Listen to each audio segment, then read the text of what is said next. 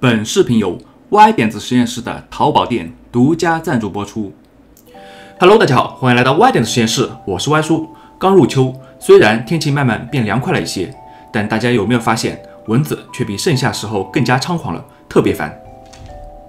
蚊子在大家的印象当中，应该就是一只会飞的小黑虫子，很少有人会无聊到去观察过蚊子到底长什么样。当然，这种无聊的事还是会有人去做的，比如我。今天我们就来抓一只蚊子，放到显微镜下面来看看蚊子的真面目。这是一只白纹伊蚊，俗称花蚊子。它的特征是身上和腿上有白色的斑纹。这种蚊子体型虽然不算大，但攻击性非常强。最可怕的是，它可以传播很多病原体。蚊子属于双翅目昆虫。双翅目顾名思义，它们只有两个翅膀，后翅退化成了一对棒槌状的器官，在飞行时用以保持平衡。首先，我们先来看它的作案工具，这是它的刺吸式口器，又黑又长，看上去就非常锋利。被这东西来上一针，应该没有人不知道是什么感觉吧？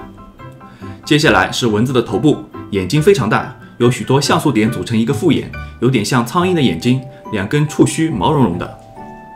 接下来是胸部，为了飞行，胸肌锻炼得非常发达，身上透着金属光泽，有一些类似鳞片的东西，看上去有点脏兮兮的，没有什么美感。甚至有点恶心。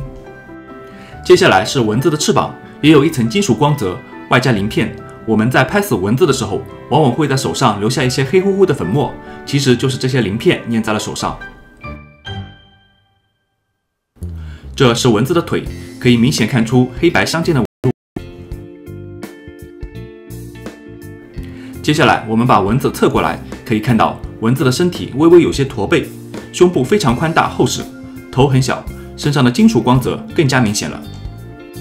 嗯，这是什么？相信有人肯定认识，没错，它就是蚊子的幼虫，叫做孑孓。蚊子是完全变态昆虫，对的，你没听错，蚊子就是个变态。所谓完全变态，就是经历幼虫、蛹，最后羽化成成虫三个阶段的形态完全不一样。现在你们眼前这个家伙，能把它跟蚊子联系在一起吗？跟蚊子完全不一样吧？以后我会详细介绍一下关于昆虫的变态。蚊子的幼虫孑孓通常生活在河里、水沟里，它们的生命力非常强，只要吃一些腐败的有机物就能生存。让我们思考一个问题：明明家里已经装了纱窗，蚊子到底是怎么来的呢？其实大部分蚊子都是从你家里的水源里长大的，下水道里经常有水吧，甚至阳台上的瓶瓶罐罐，只要有一点水，蚊子幼虫就能在几周甚至几天内迅速长大，羽化成蚊子。所以要灭蚊，除了装纱窗、做好一般的防护以外，最重要的是检查家里的一切能蓄水的地方，尽量把水倒干净。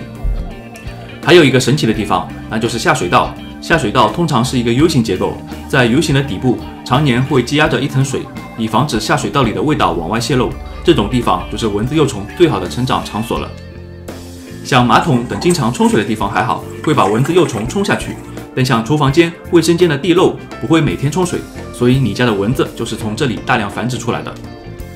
把 U 型结构里的水抽干，就会让下水道里的臭气泄露出来；不抽干又会滋生蚊子幼虫，那我们是不是就无能为力了呢？其实解决的办法很简单，丢点药进去就行了，随便什么药，电蚊香液、樟脑丸什么的，甚至挤一点蟑螂药进去，都能有效杀灭蚊子幼虫。说了这么多废话，希望能帮助到大家。